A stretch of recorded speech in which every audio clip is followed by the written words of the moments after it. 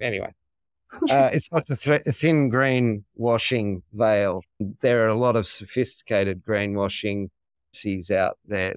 What are you? The I snake behind you. Snake behind you. Right? Snake. Snake behind you.